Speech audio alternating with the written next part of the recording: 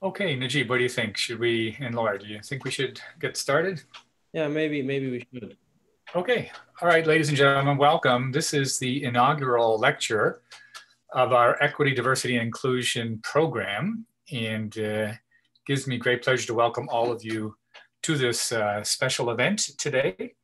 Just wanted to say a few words about EDI in the Department of Surgery, and um, it's a program that was um, initially set up in part because of the behest from the Dean of the University, Dean Trevor Young, but also because several faculty in the Department of Surgery were very interested in elevating the stature of EDI um, priorities within surgery. So we were very delighted to start the program. And it gives me great pleasure also to thank uh, Laura Snell and Najib Safieddine, who are on the line, who are serving as our co-directors in EDI. And in a moment, I'll ask them to introduce our guest speaker. But I think you'll all agree that this is a, a challenging time in the world in, in response to world events, such things as you know, the pandemic, uh, US election uh, results, uh, the anti-Black racism, and so many things that are going on in the world.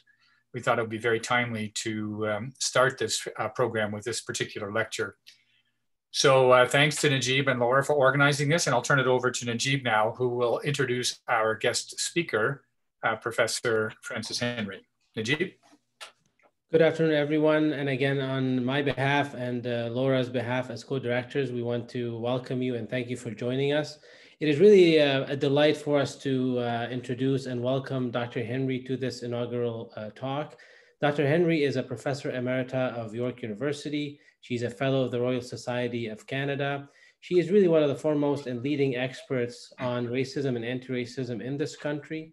She has authored and co-authored many publications and books, the last of which I would specifically mention is called The Equity Myth, Racialization and Indigeneity in Academia in Canada. And so I highly recommend that anybody who's interested in the subject and wants to look at evidence-based uh, research that's qualitative and quantitative about this issue that we all live within and deal with and want to confront to really uh, read the book. Uh, Dr. Henry was uh, gracious enough to give her her time today. Um, before I turn the mic to her, I just want to again remind you to please mute your mics. The format of this lecture is slightly different from what we're used to normally. We'll have two parts to it. The first part will be about white privilege and, and, and unconscious bias and the history of that and some other ramifications to it that Dr. Henry, Henry will speak to in the first 15 minutes or so. We'll then have about a 15 minute period of time for discussion. We want this to be very interactive and, uh, and back and forth. Please use the texting or raise your hand or unmute and speak if you wanted to. Uh, the next 15 minutes will be another part to this lecture, which will relate to current work that Dr. Henry and her co-investigators are working on related to COVID, racialized communities in this city and in this region, uh, which is very uh, timely, of course. And then we'll have another period of time to also discuss and comment. So I uh, hope you enjoyed the talk and please uh, participate and, and we look forward to your questions. So Dr. Henry, please go ahead. Well, yes, thank you, Najib. I'm really very honored by this um, invitation because, you know, as an ordinary member of the public, I am usually the recipient of your kind of services and have been now and again. And I have never really been able to uh, provide whatever service I can to this august group of doctors. So I'm, uh, this is a first for me. So I'm really uh, quite thrilled about it. Let me just say, I should have informed you, I've made a slight uh, change in the order of what I'll be speaking about. It occurred to me that I should really sort of start from the beginning and to talk about racism and anti-racism first before going into the specifics of uh, the particular areas of unconscious bias and white privilege.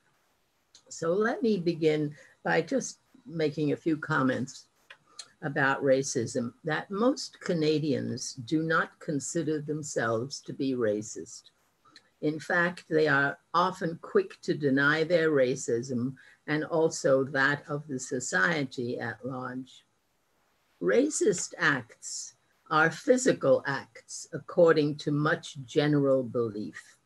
Racism is understood to be overt or physical in nature. So that we get physical acts of violence against racialized people or created incidents such as assaults and so on. And these, because they're overt and obvious, can readily be understood as racial in nature. In fact, however, racism has many covert and often subtle ways of expressing itself. And one of the objectives of people currently working in this area is to expose the myriad ways in which racism is formed and expressed in Canadian society. To begin, racism is a complex aspect of human behavior.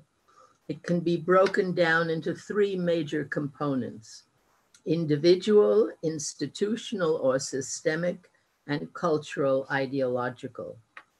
With respect to individual behavior, a distinction must be made between attitudinal and behavioral. For example, an individual might have a set of beliefs or attitudes towards Black people, that they are lazy, or they are slow, or they have criminal tendencies.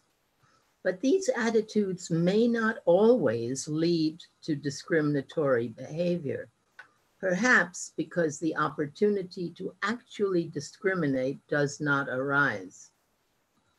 However, negative or even hostile attitudes may translate into what is called everyday racism or microaggressions, such as refusing to shake hands or not sitting next to a racialized person on a bus or a train.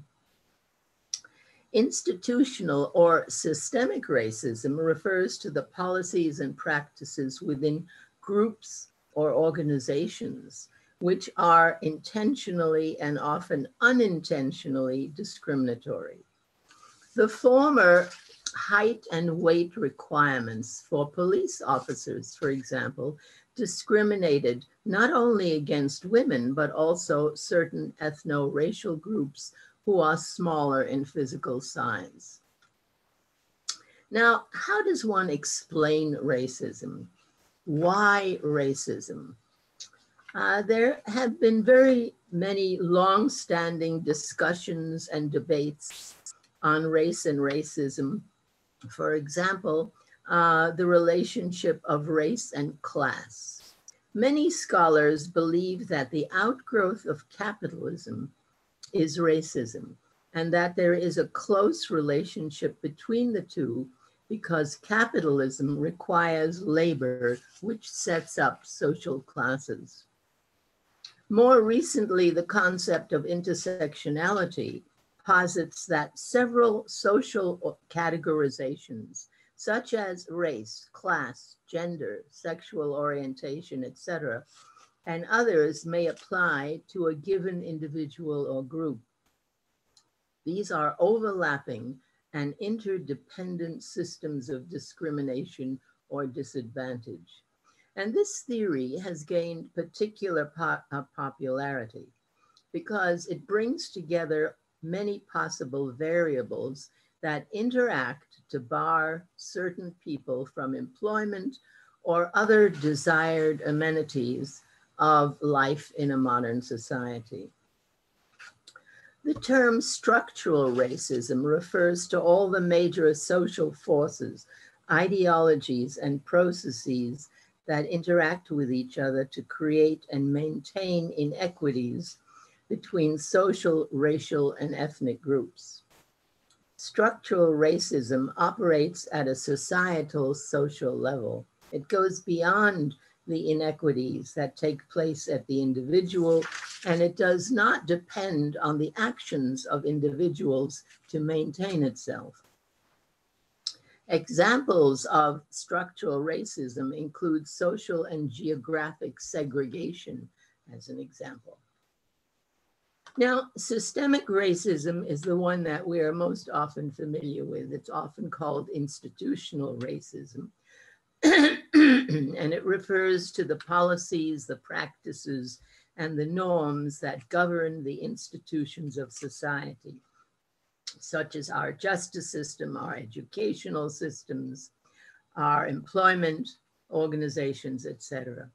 These policies set the standards, behaviors, and values of these systems. The problem is that many of the systems have been in place for many years and generations were established by primarily white populations which settled this country and others.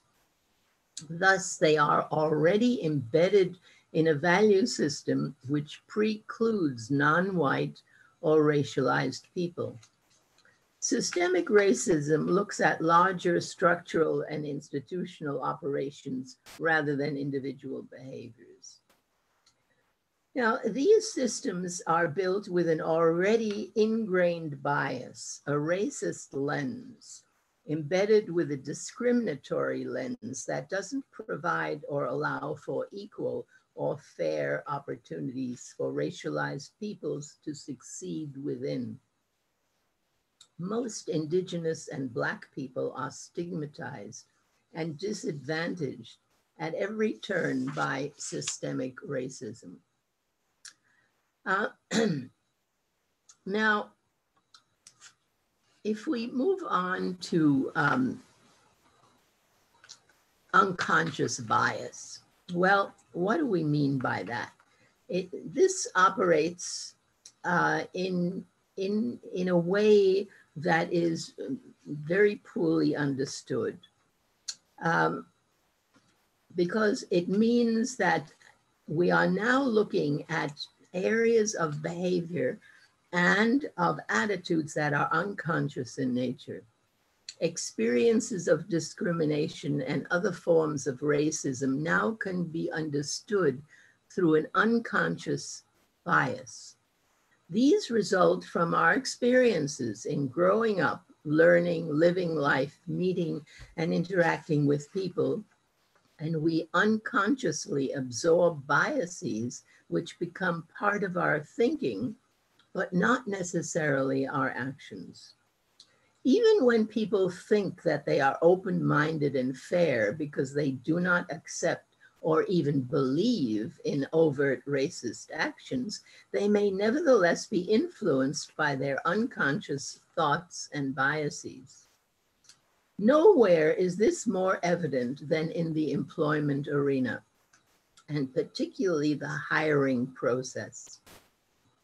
In the workplace, unconscious bias may look like a hiring process that favors applicants from, say, first world developed countries with similar educational backgrounds, social activities that favor those, um, and uh, in other words, they share a value system um, with each other.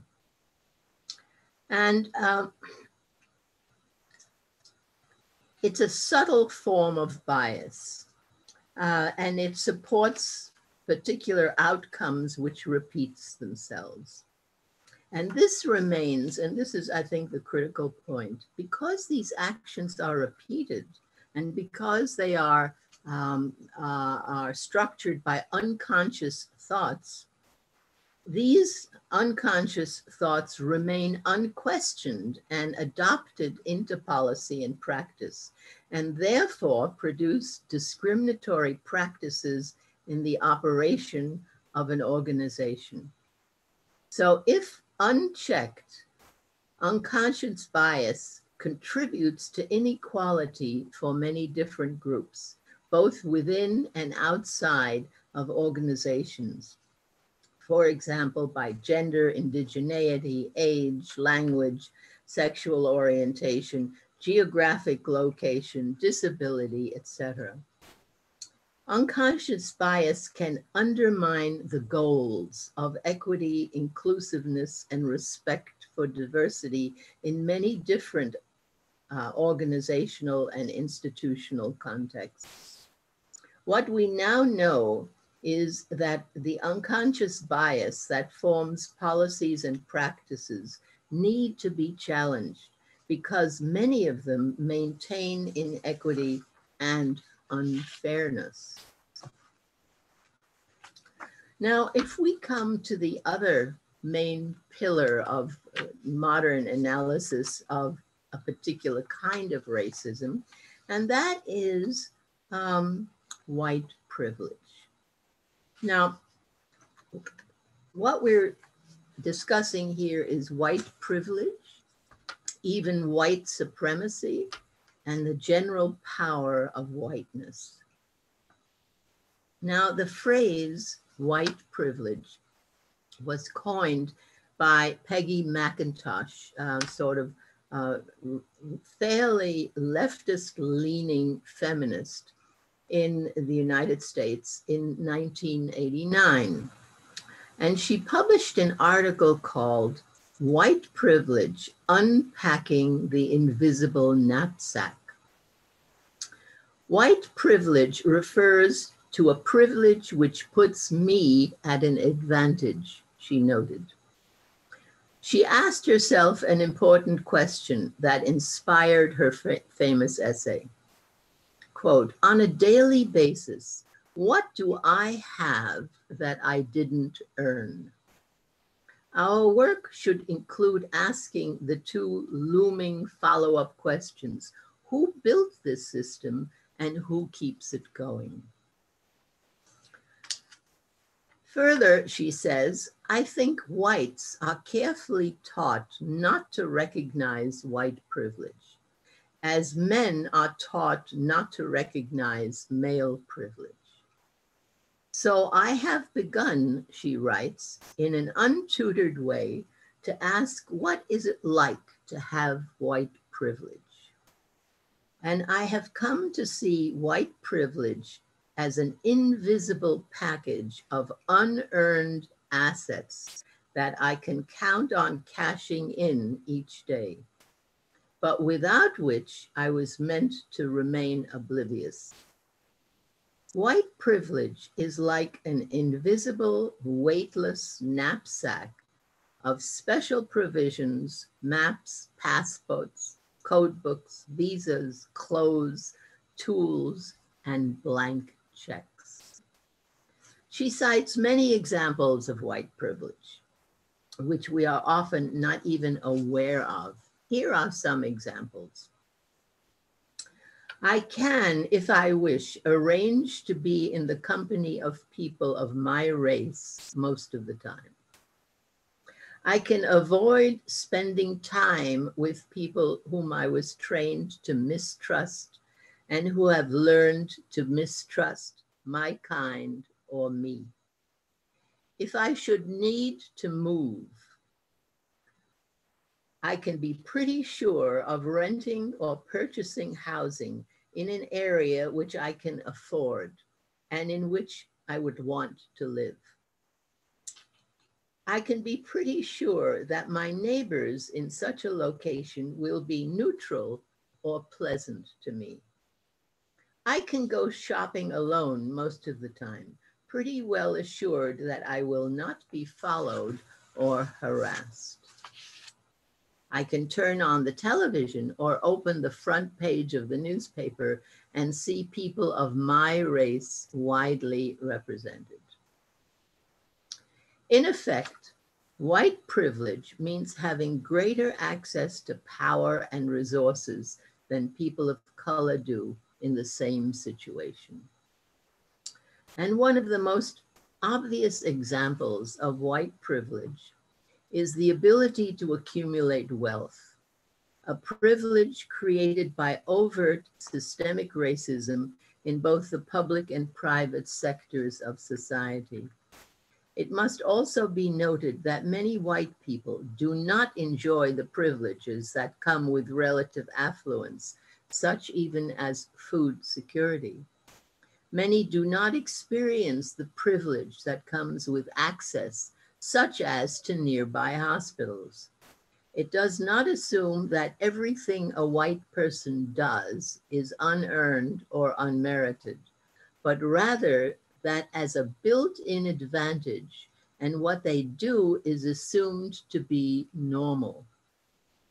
if white privilege is having greater access to power and act and resources than people of color in the same situation. Uh, so this is really the driving force um, to the differential status of whites with their privilege. And it's demonstrated in many ways, even aside from wealth. White people are less likely to be interrogated by the police, are subject to police uh, and are not subject to police harassment. In general, the criminal justice system treats them treats um, people of color more harshly than it does whites. And why mention these issues in an article defining white privilege? Well, because of the past and present context of wealth inequality, which serves as a perfect example of white privilege. Privilege also refers to laws that impact individuals, and many countries, including our own, have a history of laws that explicitly targeted racial minorities to keep them out of the country or out of neighborhoods and deny them access to wealth and the services white people are entitled to. White privilege defines access to wealth and therefore the ability to perpetuate systems of discrimination. White people become more likely to move through the world with an expectation that their needs can readily be met. People of color, on the other hand, move through the world knowing their needs are on the margins. White privilege was and still being created and maintained through the power of systemic racism. Simply put, white privilege is that hidden, undescribed, and often unconscious sense of being able to live and experience life without harassment or discrimination because of race, color of skin, gender, etc. Although white women experience white privilege, they have nevertheless, nevertheless experienced male privilege, which of course includes gender. I want to conclude this section on white privilege with the following comment, which I think is uh, uh, rather almost scary. In recent terms, the term white privilege has slowly been turned into white supremacy, increasingly used in the media and the public agenda. It seems to appeal to people because it presents a more accurate way of describing today's realities. The use of the term was prominently used by uh, scholars named Delgado and Bell in a seminal work in which they promoted a new theory called critical race theory. And they noted that white supremacy and racism were outstanding features of American life. But of course, this is not to say that it is totally absent in Canadian life or in the life of other countries. And they also described systemic and individual racism as almost secondary to the supremacy that is embedded in culture.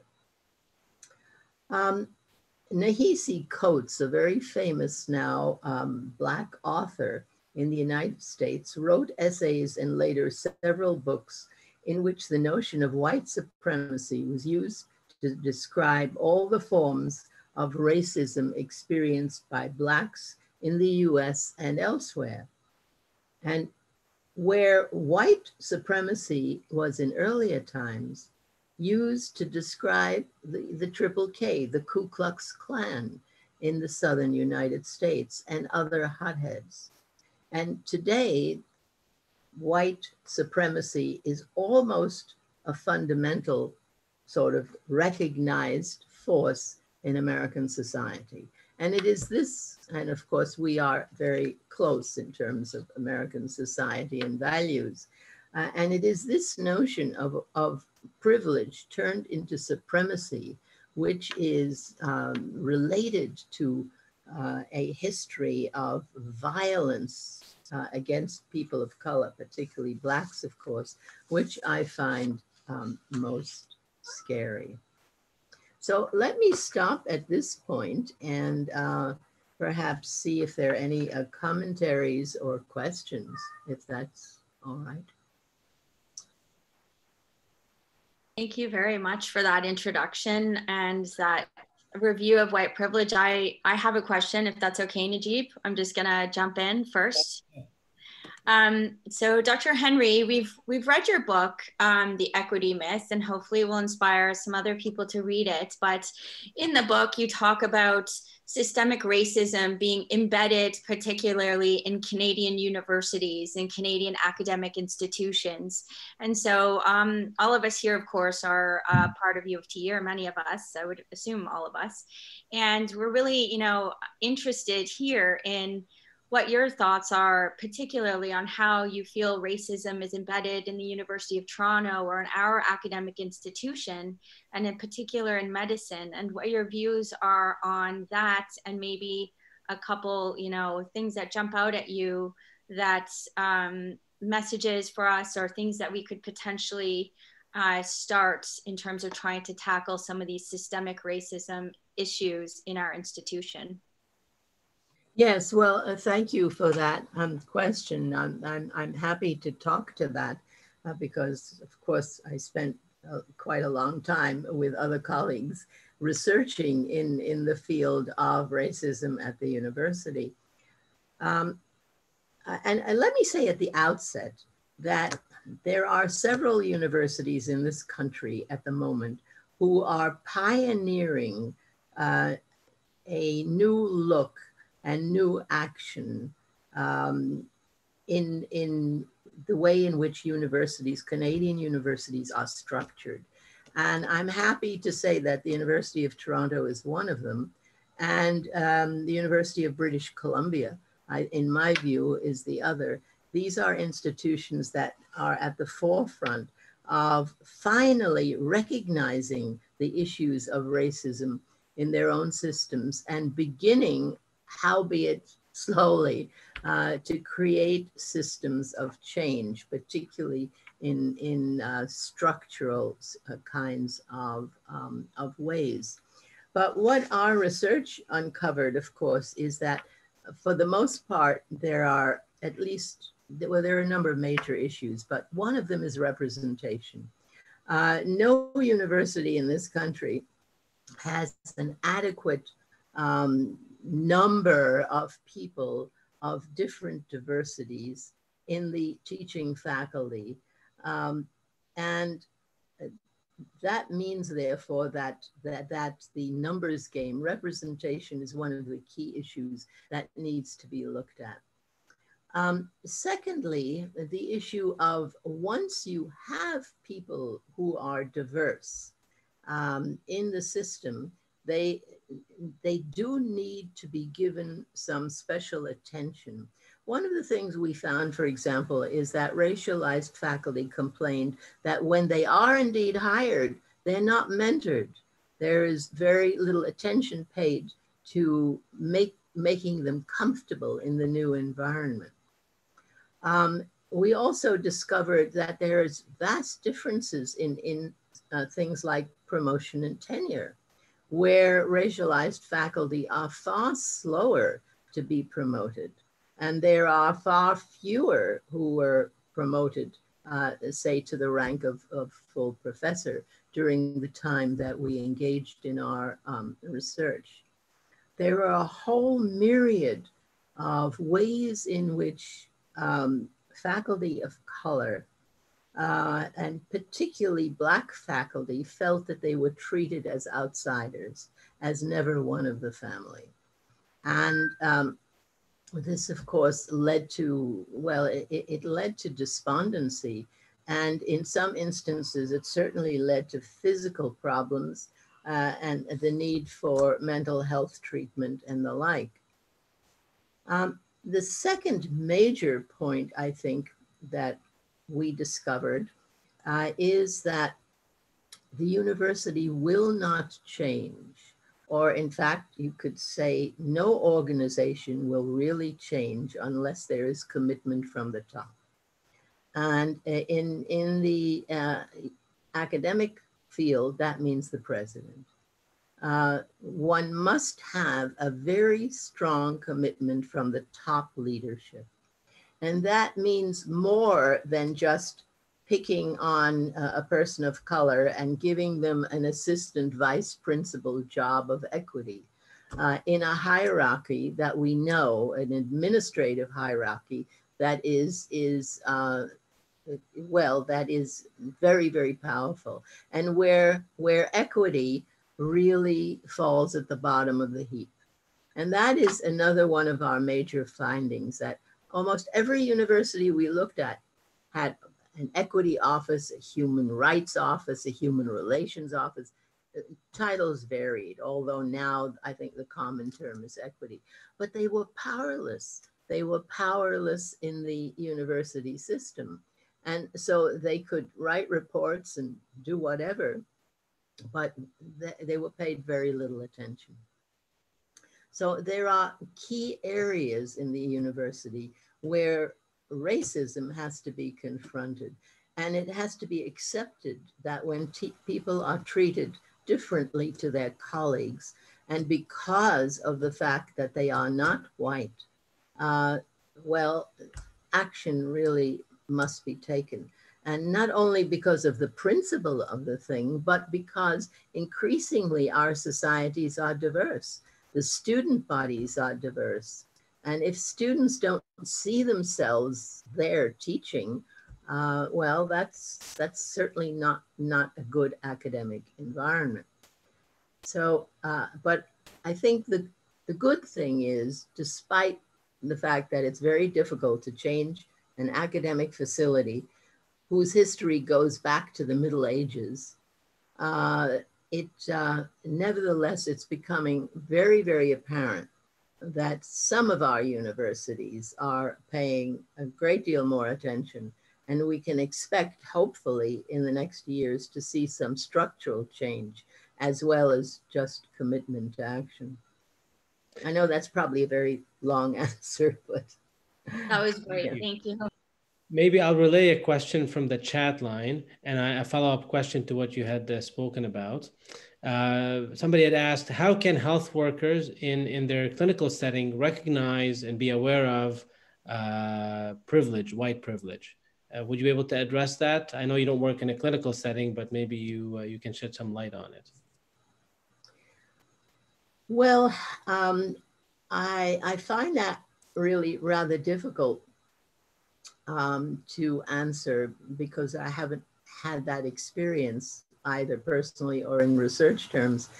But um, I, I think the important thing for health workers of all kinds is to make a patient, a, a person of color, aware that they are being treated equally, fairly, warmly, and with the best attention to their needs and, and the best ways of treating whatever ails them uh, that it must be made clear to a person that they are um, as welcome as everybody else is, and that every human being on earth has a human right to good um, medical, has a human right to um, medical care.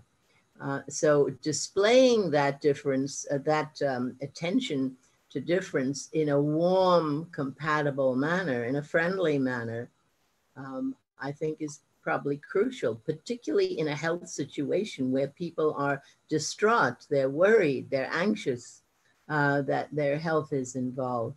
They have to be treated as, as uh, companionably as possible. I mean, that at least um, is, is my opinion on, on the subject. But I, I, I think the relationship between health worker and patient, uh, as far as I know, has been poorly researched. Thank you. There's a question. Uh, I think somebody has their hand up. Uh, Muhammad Saleh, can you unmute yourself, please, and go ahead and ask the question? Hi there. Um, thanks so much for for the talk. I'm from the University Health Network. Um, I'm just reflecting on. On would be appreciated, given that you're asking the question, but that's okay if you.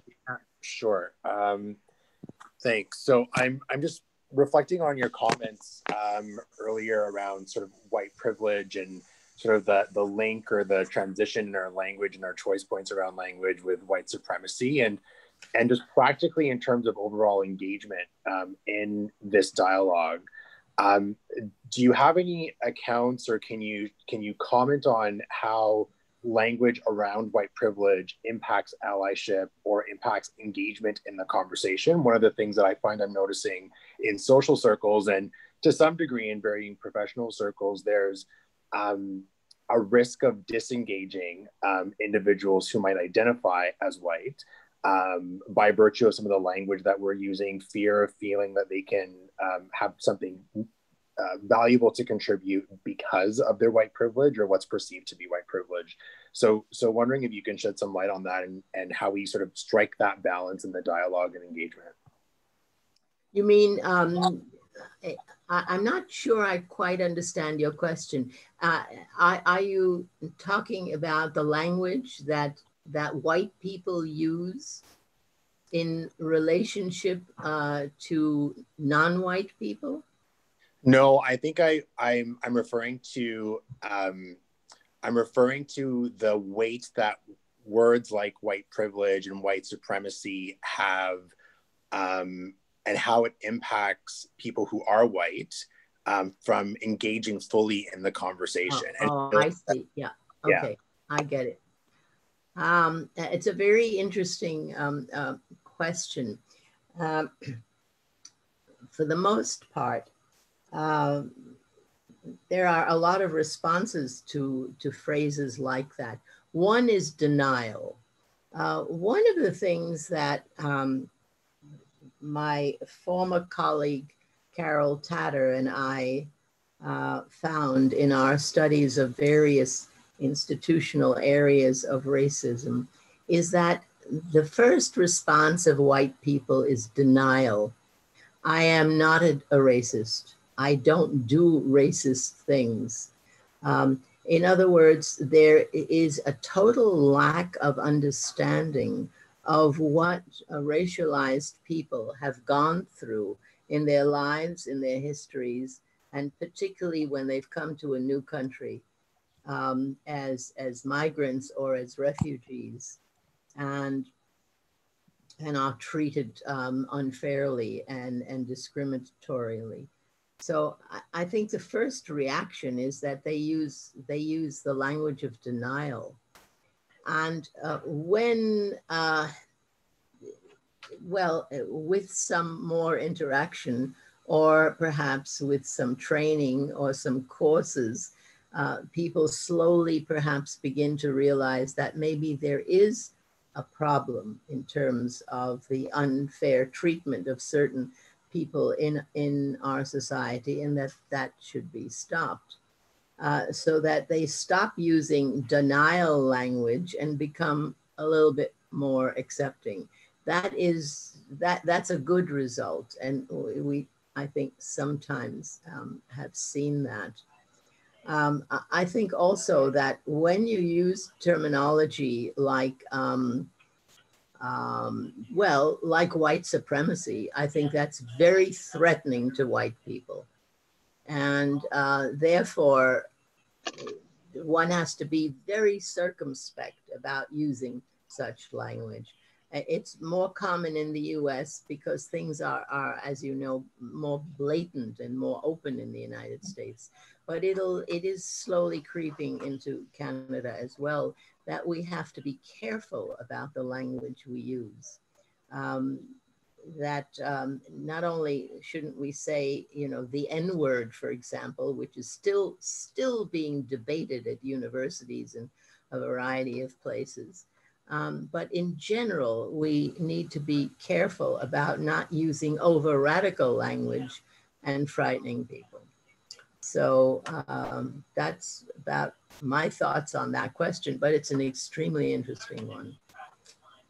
So just for the interest of time, there's one more question from one of the uh, audience, and I have a follow-up, but maybe we'll address that after your next part. But this question quickly from Colin, who's asking, you know, you've spoken of the importance of support for equity from the top. In your research, how important is it to examine the role of hierarchical university structures themselves in contributing to these forms of oppression and inequity?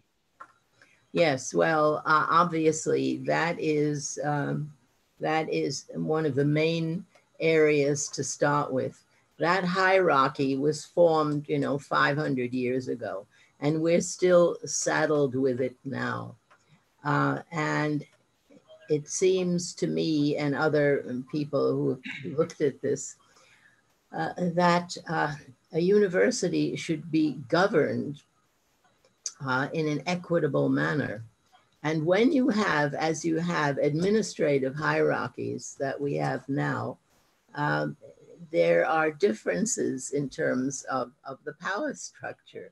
And, and it's who has the power, you know, who, who makes the major decisions. So uh, changing that hierarchy uh, into something that is a, a bit more um, equitable and uh, that depends more on community action rather than just personal action, is probably a good place to begin.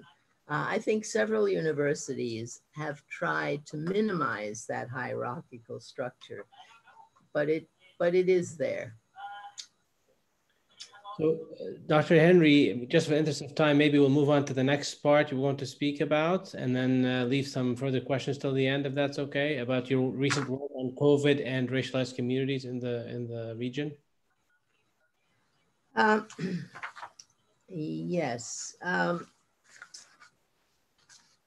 there's also, uh, I was going to move on to what you asked me to look at in particular or to think about was meritocracy.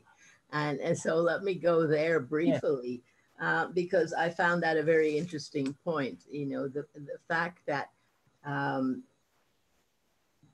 there is when, uh, particularly in terms of hiring um, new faculty, new staff, whatever, there is the question of, of, of merit that you have to hire by merit in order to get the best person.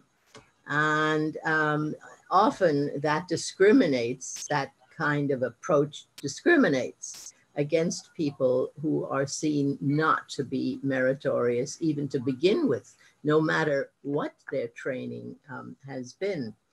Um, but meritocracy is a very interesting uh, concept because it actually began very well. It began as a good thing, uh, that it is based on the idea that a company or an organization evaluates people on their skills, their abilities, and merit without consideration of their gender, race, sexuality, etc.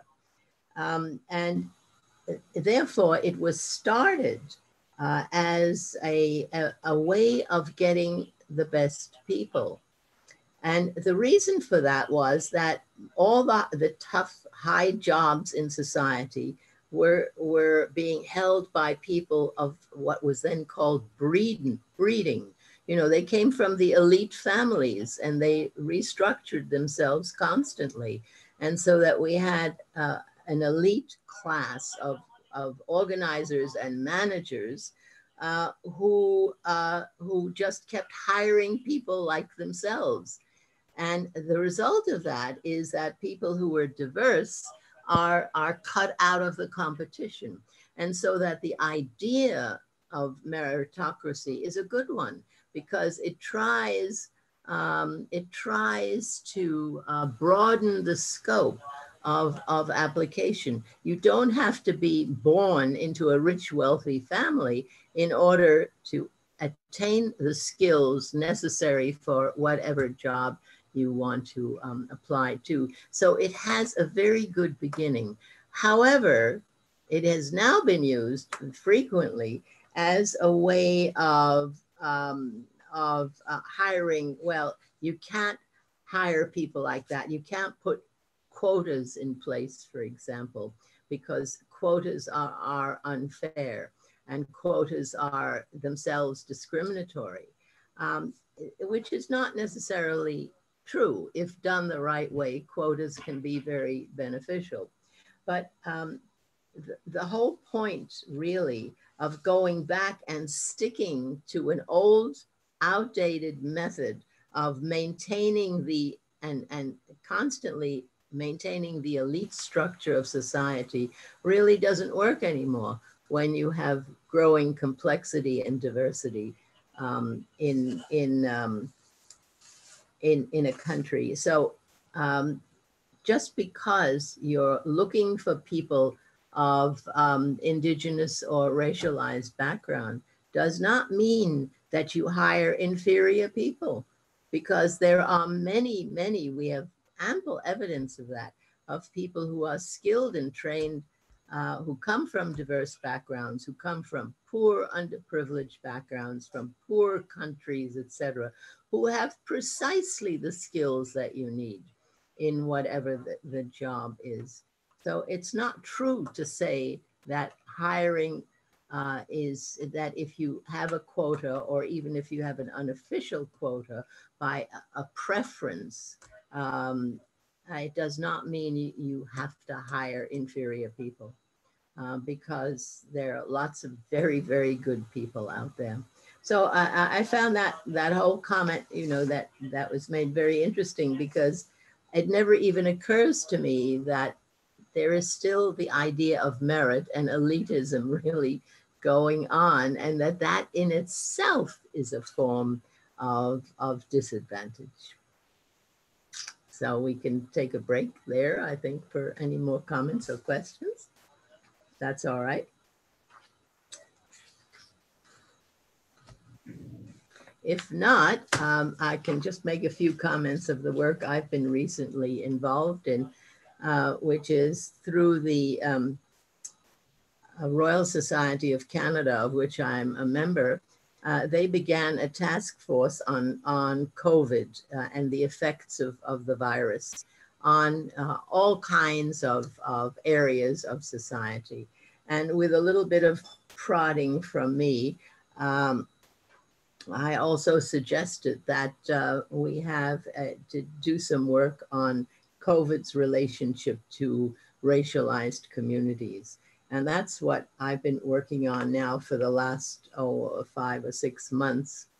And uh, we uh, sort of collected a, a group of scholars, um, primarily, but not exclusively, Black scholars, uh, who are working precisely on how uh, the pandemic is negatively affecting uh, racialized communities.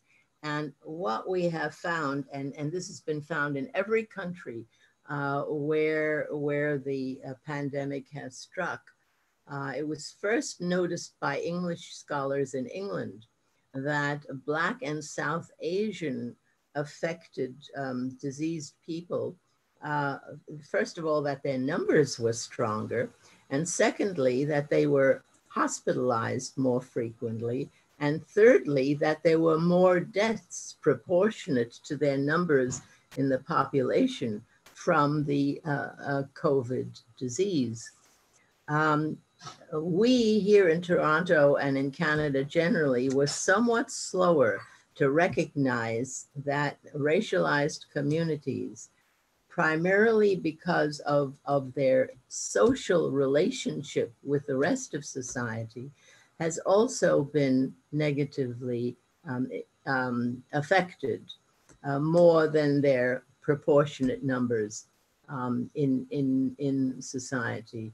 And in the city of Toronto, for example, we now know quite definitively that the northwest section of the, of, of, of the um, area, uh, where, which has the highest proportion of Black, South Asian um, peoples also has one of the highest rates of infection. And it's not because they're uh, racialized, it has nothing to do with their genes, nor of their uh, prior medical conditions. It has to do with their societal living conditions, their segregation, um, living in multi generational homes, being crowded together, using public trans, um, transport, and so on. And above all, having the need to work, that they cannot work from home. You know, healthcare workers cannot do their job at home. Uh, and there are many uh, areas of employment like that. And, and these are jobs that are held by racialized people. So their numbers are higher than, than should be for societal reasons not because of, of, uh, of their race or their genetics. Uh, and that, of course, it, used to be a real problem that it was thought to be that inferiority was a genetically caused condition uh, and so on. So um, this is sort of what I, have been doing recently. And there are quite a number of um, scholars that are engaged in this sort of work. And there are several very important research projects that have started on the effects of COVID on racialized people and, and their communities. Thank you. Uh, unless there are other questions about this specific issue, there was a question from the previous topic that maybe I could raise as a final question because of time. So, okay. Um, Amr Al Maragi has asked whether you think uh, having initial anonymized application forms for certain positions at the university would be a reasonable place to start, a reasonable strategy to take to to try to minimize the bias. Is that something? I mean, first of all, there's a practicality of it, of course, but as a concept, is that something would be useful? Do you know of any places that use it as organizations? Um, I think it would be useful, but it's very hard to it's very hard to make a person's background anonymous uh, because uh, certainly for academic positions uh, and and for quite a number of high level positions, important positions. Uh, of course, one needs uh, a resume, uh, a CV, and there are always clues as to who a person is. Name is an obvious clue. Um, uh, places of where one is studied is, is an obvious uh, clue and so on. So I think in practical terms, it's difficult to do. Um, and I'm not sure, uh, the only example that I know of uh, which tried to make hiring totally anonymous is in the musical world. Uh, a, a, number of orchestras around the world, classical symphony orchestras, use that technique of blind auditions so that when they were hiring a new orchestra player, they had that, uh, they had a partition and uh, they were never seen. They were only heard because, of course, they were playing an instrument. Uh, and uh, that technique did promote uh, some new hires of people who were came from diverse backgrounds. But it's also been criticized because, well, for lots of reasons. Um, some musicians said, well, all I had to do was hear X and I knew exactly who he was. In other words, their familiarity with the uh, with the dynamics of, of playing an instrument was so great that the person could be identified simply from the sound they were making out of a violin or something of that sort. So I, I think in theory it, it could be useful. In practice, I have my doubts. Uh, maybe one last question, if you can oblige. Uh, Andrew had raised the issue of if we are starting a policy of EDI in Toronto and given the changes in the city, is there any empirical evidence as to how long it would take for us to see that change to some degree manifested within the academy at U of T, for example? Well, I think one obvious thing you would see fairly quickly is if you do it a head count, a number count, to see if if the whole area of um, of representation is changing, and it is. The numbers are going up, but very slowly. So uh, I mean, it's years, uh, presumably not not a short while. It is it is years because universities aren't um, in a position of doing a lot of hiring. So you know the numbers are defined in terms of need and money and so on, So it, it becomes, it would, it would take a while, but it, um, it nevertheless, it shows promise if the numbers of representatives, for example, the statistics we collected in our research, our research was done in 215, 216. Let's say we do that now. I think now we would see a rise in numbers. It wouldn't be huge, but it would be there. So uh, I, I think you know that that is an approach certainly that needs to be to be looked at. But in the end, it comes down to how much is diversity promoted from the top. Well, there are many good questions still, but I think I'm afraid we're running out of time, and I'm being prompted to have to end the you know the lecture on time. Thank you so much for being with us. Thank you for all of you for attending and for all the good questions and engagement. Uh, I, do, I, really do wish we had more time because there are many valuable questions that should be addressed. Uh, uh, on behalf of all of us, thank you again, and I hope this was valuable. I'm not sure if Dr. Rutka, you wanted to uh, say anything? Oh, just thanks to you, Najib, and thanks to Laura. A special thanks to Professor Henry. Uh, we'll be doing this again. Uh, this is the inaugural lecture. There'll be many more to follow. Thanks all. Have a good evening, everybody. Thank you, everyone. Thank you. Bye. Actually, I would add one thing quickly. Please, if you do have suggestions or questions, do reach out to me and Laura. We are doing this as part of all of us. So all your questions can be directed to us and we hope to be able to answer them, maybe get involved. Uh, please do so.